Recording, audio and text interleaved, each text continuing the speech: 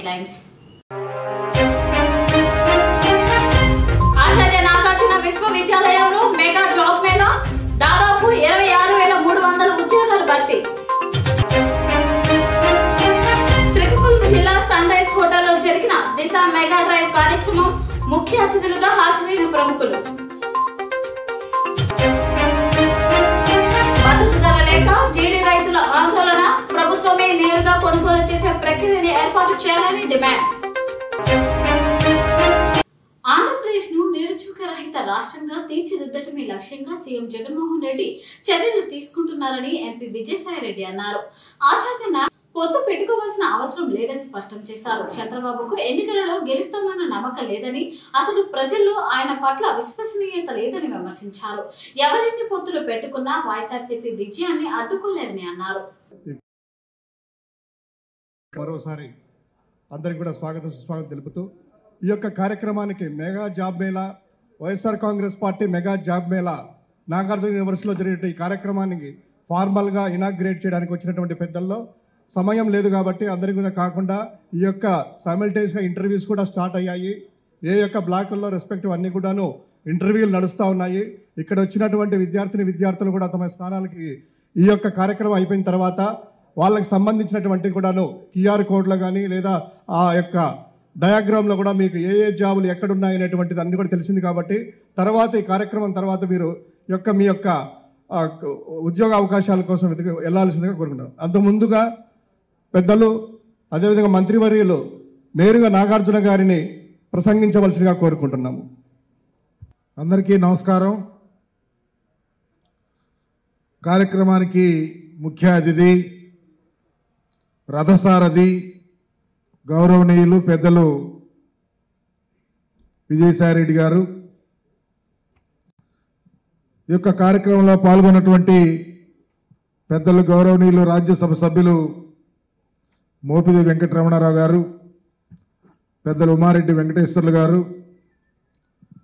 తోటి శాసనసభ్యులు శ్రీనివాసరెడ్డి గారు రోసయ్య గారు వేణుగోపాల్ గారు శాసనమండలి సభ్యులు జంగా కృష్ణమూర్తి గారు శాసనసభ్యులు గిరి గారు పెద్దలు హనుమంతరావు గారు సోదరిమణి Zilla Parishad chairman Christianamma vice chancellor Rajasekhar గారు మాజీ శాసనమండలి సభ్యులు జూపూడి ప్రభాకర్ గారు శాసనమండలి సభ్యులు లేళ్ళ అప్పిరెడ్డి గారు.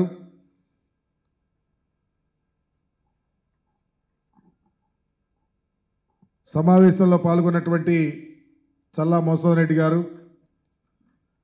కార్యక్రమానికి ఎంతో ఉత్సాహంగా ఆంధ్రప్రదేశ్ చరిత్రలో ఏనాడు ఇలాంటి కార్యక్రమాలు చూ చూసి ఆ పరిస్థితిలో ఏ విద్యార్థి యువత నిరుద్యోగులుగా ఉండి ఇలాంటి జాబ్ మేళాలు మున్నెన్నడూ లేవు. అలాంటి కార్యక్రమాన్ని ఈరోజు వైఎస్ఆర్ కాంగ్రెస్ పార్టీ ఆధ్వర్యంలో పెద్దల విజయసాయిరెడ్డి గారు ఒక వినూత్నమైన రీతిలో ఎక్కడ ఉద్యోగులు నిరుద్యోగులు ఉంటారో ఏ ప్రాంతంలో నిరుద్యోగ యువత ఉంటుందో ఎంచుకొని విశ్వవిద్యాలయాలని ప్రధాన భూమిగా తీసుకొని మొదటిసారిగా వెంకటేశ్వర విశ్వవిద్యాలయంలోను తరువాత ఆంధ్ర విశ్వవిద్యాలయంలోను ఈరోజు నాగార్జున విశ్వవిద్యాలయంలోను ఇలాంటి జాబ్ మేళాలు ఏర్పాటు చేయటం అనేది ఇది ఒక చరిత్ర. ఇలాంటి పెద్ద మారథాన్ ఎక్సర్సైజ్ చేసి రెండు వందల పైగా కంపెనీలను తీసుకొని వచ్చి ఈ యొక్క జాబ్ మేళాలో పాల్గొని నిరుద్యోగ యువతను ప్రోత్సహించి వారికి ఉద్యోగాలు కల్పించాలని ఒక ఆశ ఆలోచన ఆకాంక్ష అభిలాష రావటం అది విజయసాయిరెడ్డి గారికి దక్కింది. గౌరవ ముఖ్యమంత్రి గారి ఆదేశాలు ఈరోజు రాష్ట్రంలో ఒకరోజు సచివాలయ వ్యవస్థ తీసుకోండి లేకపోతే వాలంటీర్ వ్యవస్థ తీసుకోండి. మరల ప్రత్యేకంగా ఈరోజు ఇలాంటి మెగా జాబ్ మేళాలు పెట్టడం అనేది వైఎస్ఆర్ కాంగ్రెస్ పార్టీకే చెల్లుతుంది. ఇలాంటి యువత చక్కగా క్వాలిఫై అయి ఉండి నిరుద్యోగులుగా ఉండి ఉద్యోగాలు లేనటువంటి యువతను ఖచ్చితంగా సహాయం చేసి వాళ్ళని ఆదుకోవాలా? రాబోయే రోజుల్లో ఈ ఎక్స్పీరియన్స్ వాళ్ళకి బంగారు భవిష్యత్తుకు ఉపయోగపడే అవకాశం ఉంటుంది. ఈరోజు వచ్చే ఉద్యోగం కొంత తక్కువ శాలరీ రావచ్చేమో. ఈరోజు వచ్చే ఉద్యోగం కొంచెం చిన్నదిగా ఉండొచ్చేమో.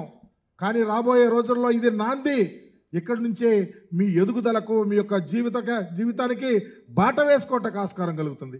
అలాంటి ఉన్నతమైన ఆశయాలతో ఈరోజు విజయసాయిరెడ్డి గారు తీసుకున్నటువంటి దూరదృష్టి రాబోయే రోజుల్లో ఆంధ్రప్రదేశ్లో నిరుద్యోగ యువతకు ఒక పట్టుగొమ్మలాగా తయారయ్యే అవకాశం ఉంటుందని మాత్రం ప్రగాఢ విశ్వాసంతో మాట్లాడుతూ ఉన్నా. నమస్కారం వేదిక పైన ఆసీనులైనటువంటి మంత్రివర్యులు శాసనసభ్యులు శాసన మండలి సభ్యులు మరి ముఖ్య నాయకులు ముఖ్యంగా ఈ యొక్క యూనివర్సిటీ అంటే వీసీ గారు వీసీ గారి టీము అందరికీ పేరు పేరున నా హృదయపూర్వక ధన్యవాదములు కృతజ్ఞతలు తెలియజేసుకుంటా ఉన్నాను.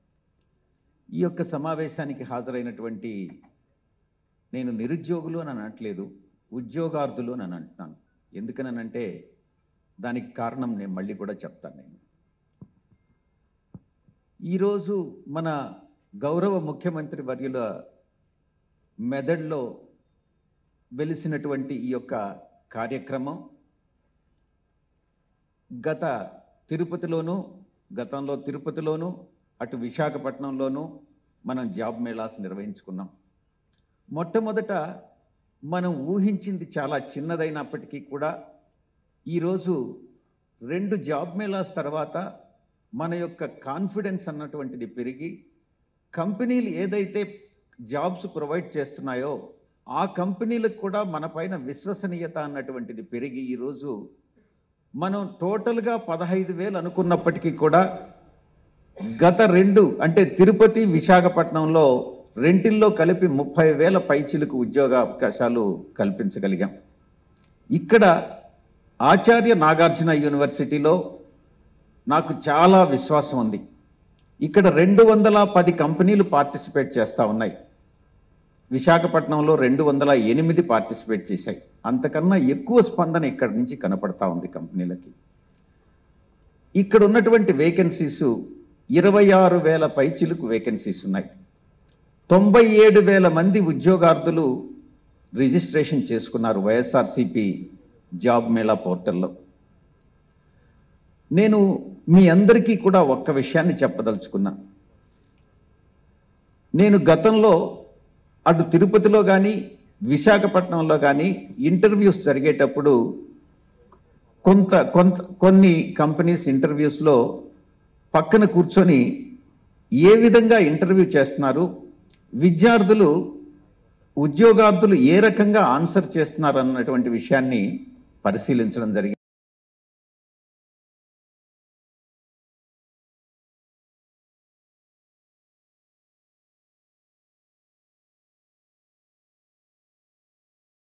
ఇంటర్వ్యూను ఫేస్ చేయండి. అబద్ధం అనేటటువంటిది చెప్పొద్దు. ఎందుకనంటే ఒక అబద్ధం కప్పిపుచ్చుకునే దానికి మరిన్ని అబద్ధాలు చెప్పాల్సి వస్తుంది కంపెనీకి ఏదైతే కంపెనీ మిమ్మల్ని రిక్రూట్ చేసుకోదలుచుకుందో వారికి మీ పట్ల విశ్వసనీయత తగ్గుతుంది. కాబట్టి ఉన్నది ఉన్నట్లుగా వాస్తవాన్ని కానీ చెప్పినట్లయితే అదే కొన్ని మార్క్స్ని ఇస్తుంది. కాబట్టి వాస్తవాలను చెప్పండి కాన్ఫిడెంట్గా ఫేస్ చేయండి. ముఖ్యమైనటువంటిది కమ్యూనికేటివ్ స్కిల్స్. మనం చెప్పదలుచుకున్నది చాలా స్పష్టంగా చెప్పాలి. అది ఏ భాషలోనైనా కూడా పర్వాలేదు. మనం మన ఆలోచన విధానాన్ని ప్రతిబింబిస్తూ వారు అడిగినటువంటి ప్రశ్నకి మీరు సమాధానం స్పష్టంగా చెప్పండి. ఒకవేళ తెలియదని అంటే తెలియదననే చెప్పాలి.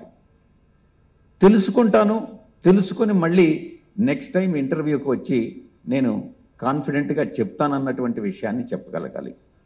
ఇక్కడ ఆంధ్రప్రదేశ్లో జనరల్గా ఇండియాలో ఉన్నటువంటి పర్సెప్షన్ ఏందనంటే కమ్యూనికే ఆంధ్రప్రదేశ్లో ఉన్నటువంటి విద్యార్థులు కమ్యూనికేషన్ స్కిల్స్ని ఇంప్రూవ్ చేసుకోవాలి అన్నటువంటిది ఒక ఒక రకమైనటువంటి భావన ఇండియాలో ఉంది.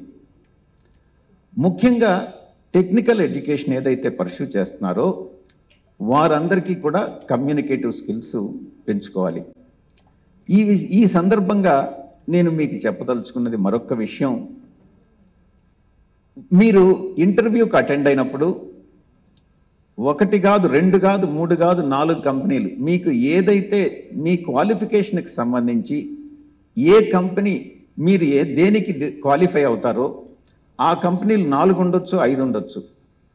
మీరు టైం వేస్ట్ చేసుకోకుండా నాలుగైదు కంపెనీల ఇంటర్వ్యూస్కి కూడా అటెండ్ అయ్యి వారికి కంపెనీ వారికి ఎలాగైతే బెస్ట్ క్యాండిడేట్ని సూట్ సెలెక్ట్ చేసుకోవాలన్నటువంటి ఆకాంక్ష ఉంటుందో మీ ఆకాంక్ష కూడా నాకు బెస్ట్ కంపెనీలో ఉద్యోగం దొరకాలి అన్నటువంటి మీ ఆకాంక్షను కూడా ఫుల్ఫిల్ చేసుకునేందుకు మీరు నాలుగైదు ఇంటర్వ్యూస్కైనా అటెండ్ కావచ్చు. కానీ ఒక్క విషయం నేను చెప్తా ఉన్నా. ఒకవేళ ఉద్యోగం నాలుగైదు కంపెనీల్లో మీకు ఒక రెండు కంపెనీల్లో కానీ ఒక కంపెనీలో కానీ ఉద్యోగం ఒక కంపెనీలో కానీ ఉద్యోగం వచ్చినట్లయితే వచ్చినటువంటి ఉద్యోగాన్ని కాలదనుకోవద్దు శ్రీమతి వైజాగ్ కాంటెస్ట్కి సంబంధించిన ఆడిషన్స్ ఈ నెల ఇరవై రెండవ తేదీన నిర్వహిస్తున్నట్లు ఈవెంట్ ఆర్గనైజర్ దాడి రవికుమార్ తెలిపారు. దొండపర్తిలో గల బెస్ట్ వెస్టర్న్ హోటల్లో శనివారం కార్యక్రమానికి సంబంధించిన ప్రచార పోస్టర్ను ఎమ్మెల్సీ వంశీకృష్ణ శ్రీనివాస్ యాదవ్ ముఖ్య అతిథిగా హాజరై ఆవిష్కరించారు. Race Entertainments Dream Entertainments event మేనేజర్లు దాడి రవికుమార్ అసరఫ్ ఖాన్ సంయుక్త ఆధ్వర్యంలో జరగనున్న ఈ పోటీలు భారతీయ సంస్కృతి సంప్రదాయాలను గౌరవించే విధంగా ఉంటాయని అన్నారు. ప్రతి ఏడాది నిర్వహిస్తున్న ఈ పోటీలు ఈ ఏడాది అత్యంత ప్రతిష్టాత్మకంగా రూపొందిస్తున్నామని ఈ కార్యక్రమంలో వైసీపీ మహిళా నాయకురాలు పేడాడి రమణకుమారి వర్తమాన సినీ నటుడు Deepak Saroj Best Western hotel MD Srikanth JD Fashions Technology MD Kattamuri Pradeep Irish Dental Care executive director Santosh Purnima Holiday World ప్రతినిధి Lakshmipriya Pro Salon MD Sunitha Ajay Agarwal senior పాత్రికేయులు SS Sivasankar Vizag Journalist Forum అధ్యక్షులు గంట్ల శ్రీనుబాబు విశాఖకు చెందిన ప్రముఖ models Bonda Sanjarani Soujanya Shilpa Nayak Muskan Charishma తదితరులు పాల్గొన్నారు. ఈ కార్యక్రమంలో ఈ కాంటెస్ట్లో పాల్గొనేందుకు ఆసక్తి గల మహిళలు nine three nine three nine three six four six five double nine four eight nine double one four two seven ఫోర్లో సంప్రదించాలని అలాగే పేర్లు రిజిస్ట్రేషన్ చేయించుకోవాలని కోరారు. గడిచిన పన్నెండేళ్ళుగా విశాఖపట్నంలో ప్రతి ఏటా జరుగుతున్న శ్రీమతి వైజాగ్ ఈవెంట్ని ఈ ఏడాది కూడా రేస్ ఎంటర్టైన్మెంట్స్ డ్రీమ్స్ ఎంటర్టైన్మెంట్ ఇద్దరం కలిసి సంయుక్తంగా నిర్వహించడం జరుగుతుంది. చాలా భారీ అంచనాలతో తెలుగు సాంప్రదాయం ఉట్టిపడేలాగా ఈ ఈవెంట్ని చేయడం జరిగింది. ఈరోజు పోస్టర్ లాంచ్ కార్యక్రమాన్ని అతిథుల చేతుల మీదుగా ఎమ్మెల్సీ వంశకృష్ణ శ్రీనివాస్ గారు ఇతర అతిథులు స్పాన్సర్ల చేతుల మీదుగా చేయడం జరిగింది. మెయిన్ విశాఖవాసులకి రిక్వెస్ట్ ఏంటంటే మహిళల్లో వ్యక్తిత్వ వికాసాన్ని మనోస్థైర్యాన్ని ఆత్మస్థైర్యాన్ని పెంపొందించే విధంగా చేపడుతున్నటువంటి ఈ శ్రీమతి వైజాగ్ ఈవెంట్కి వచ్చి పార్టిసిపేట్ చేయాలని రిక్వెస్ట్ చేస్తున్నాం. ట్వంటీ సెకండ్ని బెస్ట్ వెస్టర్న్ హోటల్లో ఈ ఆడిషన్స్ జరుగుతాయి. మార్నింగ్ నుంచి మధ్యాహ్నం వరకు జరుగుతాయి. ఈ ఆడిషన్స్లో ఉత్సాహంగా మహిళలు పాల్గొవాలని వాళ్ళలో ఉన్న టాలెంట్ని వాళ్ళు ప్రూవ్ చేసుకోవాలని రిక్వెస్ట్ చేస్తున్నాం. ఈరోజు ఈ కార్యక్రమానికి మాకు ఎంతగానో సపోర్ట్ చేసిన శ్రీ రాధా దామోదర్ స్టూడియో ఎవరైతే ఉన్నారో ఫనీ గారు ఆయన మెయిన్ స్పాన్సర్గా ఉన్నారు. ఆయన మాకు ఎంతో సపోర్ట్ చేశారు దీనికి. అలాగే బెస్ట్ వెస్టర్న్ హోటల్ తరఫు నుంచి JD Fashion Technologies Irish Dental Clinic Holiday World ఇలాగ అన్ని కంపెనీలు కూడా మాకు సపోర్ట్ చేయడం జరిగింది. వాళ్ళందరికీ పేరు పేరున ధన్యవాదాలు తెలియజేస్తున్నాం. అలాగే సార్వాణి హోమ్స్ వాళ్ళు కూడా మాకు ఎంతో సపోర్ట్ చేశారు. వాళ్ళకి కూడా స్పెషల్గా థ్యాంక్స్ తెలియజేస్తున్నాం. Thank you so much. Anantapuram జిల్లాలో బేబీ ఆసుపత్రికి వైద్యం కోసం వచ్చిన తొమ్మిది నెలల గర్భిణి మృతి చెందింది. శారదానగర్కు చెందిన నాగరత్నమ్మ క్రమంగా వైద్యం కోసం బేబీ ఆసుపత్రికి వచ్చేది. అయితే ప్రసవ సమయంలో ప్రభుత్వ ఆసుపత్రికి వెళ్ళమని వైద్యులు నిర్లక్ష్యంగా వ్యవహరించడంతో చనిపోయిందని బంధువులు ఆందోళన చేస్తున్నారు. అక్కడ ప్రస్తుతం ఆసుపత్రి వద్ద స్వల్ప ఉద్రిక్త పరిస్థితి నెలకొంది. బేబీ ఆసుపత్రిపై చర్యలు తీసుకోవాలని బాధితులు డిమాండ్ చేస్తున్నారు. లక్షల రూపాయల డబ్బులు తీసుకున్నారని ఈ మాఫియాపై ప్రభుత్వం చర్యలు తీసుకోవాలని కోరారు. ఈ నేపథ్యంలో అనంతపురం డీఎస్పీ రాఘవరెడ్డి అక్కడకు చేరుకుని ఆందోళన చేస్తున్న వారికి సర్ది చెప్పారు. సార్ ఇక్కడ మేము తొమ్మిది నెలల నుంచి ఇక్కడ మేము ఐదు లక్షల పైన ఆరు లక్షల ఏడు లక్షల పది లక్షల పైన మాకు ట్రీట్మెంట్కి వచ్చినాం ఇక్కడ. ఒక్కరు కానీ ఆక్సిజన్ పెట్టలేదు బీపీ చెక్ లేదు సార్. గవర్నమెంట్ హాస్పిటల్ వెళ్ళమన్నారు హాస్పిటల్ నా భార్య చనిపోయింది నాకు ఎవరు అన్యాయం నాకు ఎవరు న్యాయం చేయాలి తల్లి నా బిడ్డను కాపాడండి నా బిడ్డను కాపాడండి అన్నే సార్ మాకు జగనన్న పేదలకు న్యాయం చేస్తా అన్నాడు కానీ ఇక్కడ చూస్తే మాకు న్యాయం జరగడం లేదు మేము జగనన్నని విమర్శించలేదు ఇద్దరు మరి పోకూడదనే సార్ నాది కాన్సెప్ట్ సార్ నాకు వేరే ఏం లేదు సార్ ఇక్కడ. ఈ హాస్పిటల్లో బేబీ హాస్పిటల్ కాదు సార్ ఇది బేబీ చంపే హాస్పిటల్ సార్ ఇది. బేబీ హాస్పిటల్ కాదు సార్. డాక్టర్ రాలేదు సార్ ఏం సార్ ఇది? ఒక నిమిషం ఫీజు కట్టబట్టి బయట తప్పేస్తారు కదా సార్. మన పది నిమిషాలు ఎందుకు సార్ డాక్టర్ రాలేదు? పోలీసులు వస్తున్నారు మమ్మల్ని గంటేస్తున్నారు. మేనేజ్మెంట్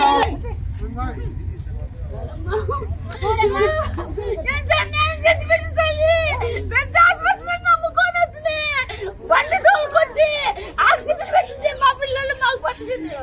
ఒక్కళ్ళంతా కూడా కానీ బండి దెబ్బకి దేని నుంచి ట్రీట్మెంట్ ఇక్కడ తీసుకుంటే లాస్ట్ మినిట్లో అట్లా చేయడం న్యాయమేనా? అడ్మిట్ చేసుకోకుండా పెద్ద హాస్పిటల్లో గవర్నమెంట్ హాస్పిటల్లో చేర్పించడానికి మేము డే డే వన్ నుంచి ఇక్కడికి వచ్చేది? ఇక్కడ డే వన్ నుంచి ట్రీట్మెంట్ తీసుకుంటున్నాం కదా ఇక్కడ. మంచాలు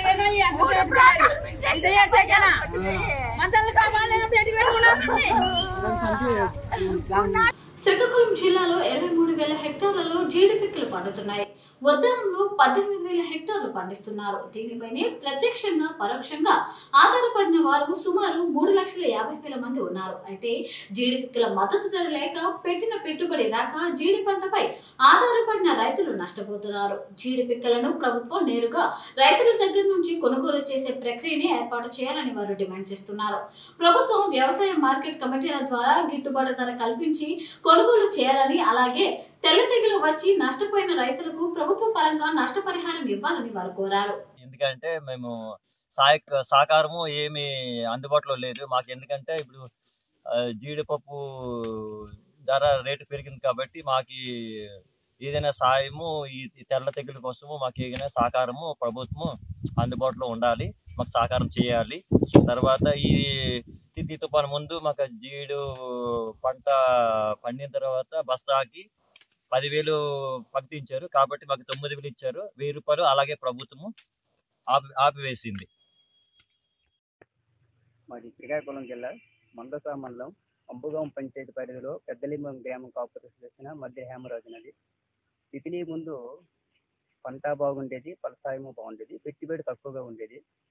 ఈ తితిలి ఇరిగే తర్వాత అనేక క్రీడాకారులు ఈ దోమ పోటీ ఎక్కువ వల్ల పెట్టుబడి మందులు ఎక్కువై సరైన కిట్టుబడి ధరలు లేక రైతులు చల్లారిపోతుంది అప్పుడు ఎకరాకి పద్నాలుగు పదిహేను బస్తాలు వస్తే అలాంటిది ఇది రెండున్నర ఎకరాలు నాకు ఉంది తితిలి ముందు నాకు ఎకరాకి పద్నాలుగు పదిహేను బస్తాలు వచ్చేవి అలాంటిది తితిలి అయిన తర్వాత నాలుగు ఐదు బస్తాలు ఉండేవి. తితిలి ముందు ఒక ఎనభై ఒక్క కేజీ అమ్మబడి ఇస్తే పద్నాలుగు వేల నుండి పదిహేను వేలు ఉండేది.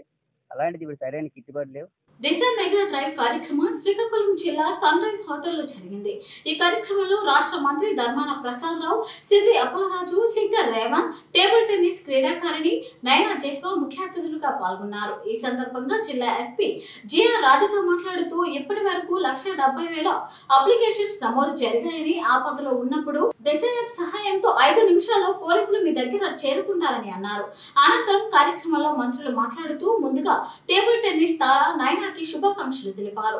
దేశ యాప్ మహిళలకి రక్షణ కవచం లాంటిదని స్కూల్స్ కాలేజీకి వెళ్ళిన మహిళలు ఈ యాప్ చాలా బాగా ఉపయోగపడుతుందని అన్నారు.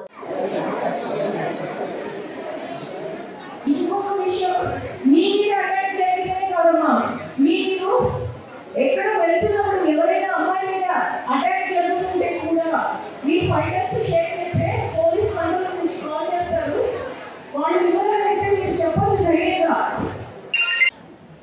దిశ చట్టము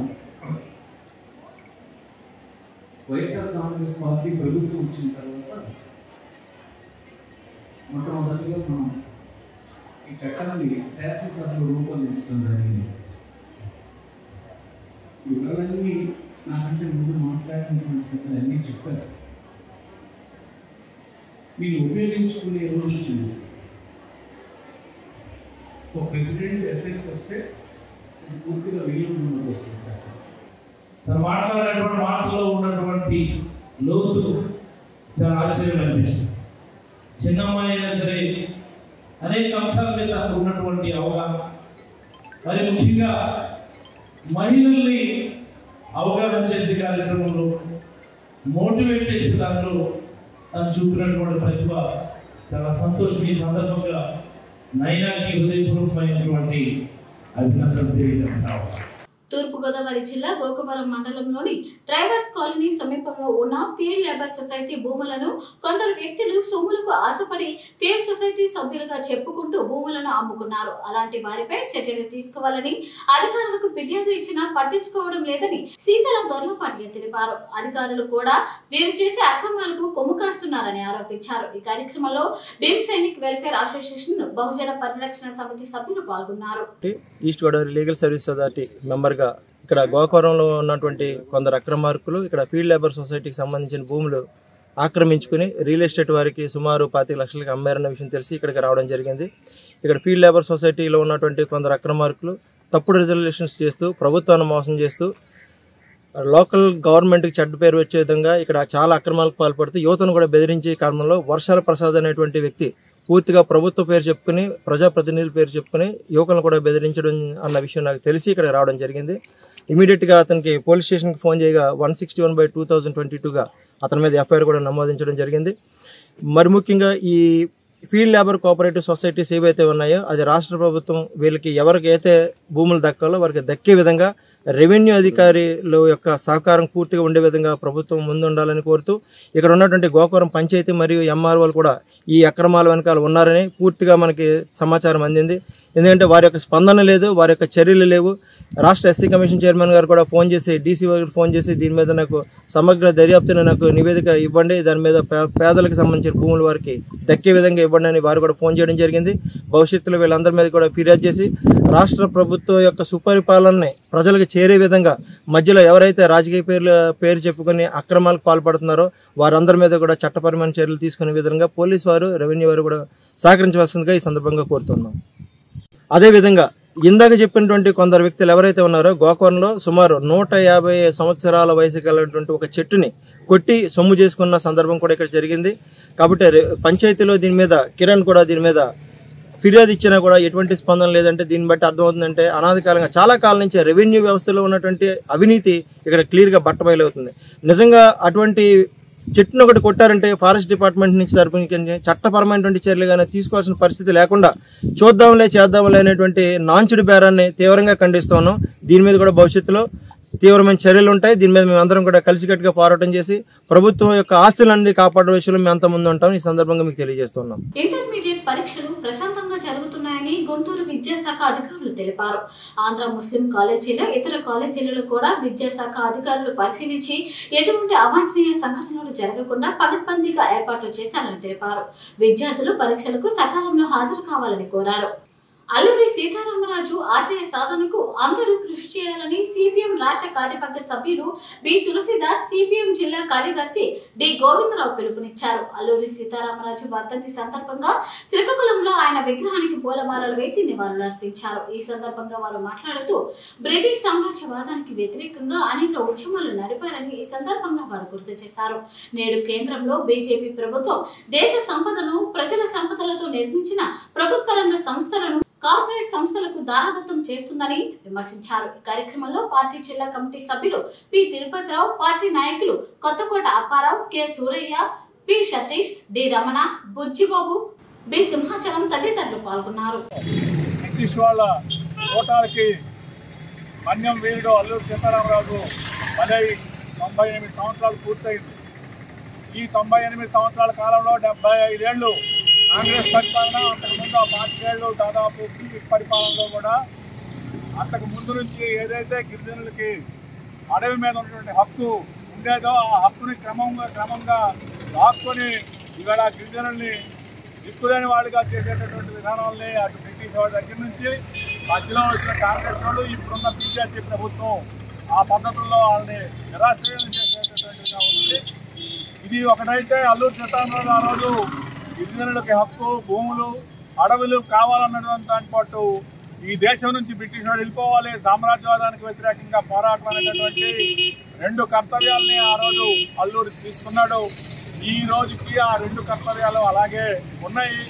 ఈ రోజు ఆనాడు బ్రిటిష్ వాడైతే ఈ రోజు అమెరికా వాడు మన దేశం మీద పెత్తనం చేయడం కోసం మన ప్రభుత్వాన్ని లొంగ తీసుకొని అవసరమైనటువంటి రూపాల్లో తన అంతర్జాతీయ విన్యాసాల్లో మోడీ ప్రభుత్వాన్ని ఉపయోగించుకుంటున్నటువంటిది ఉంది.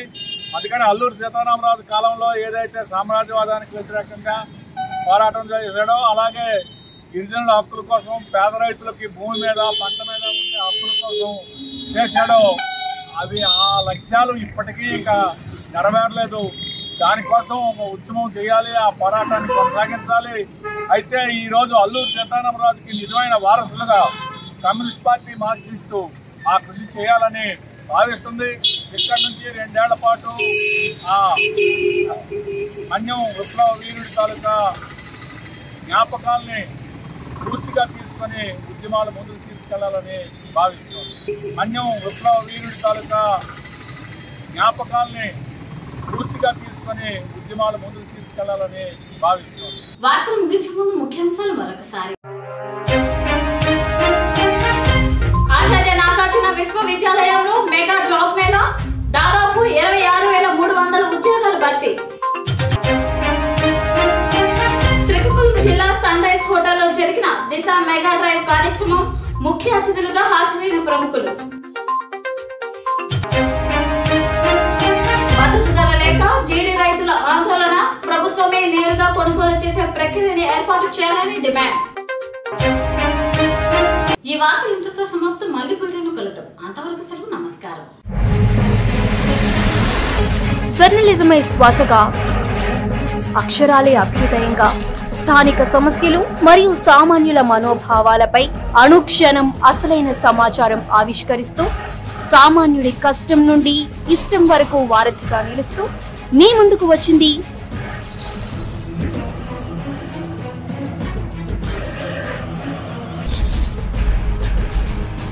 మన టీవీ మనందరి టీవీ ఏపీ లోకల్ టీవీ.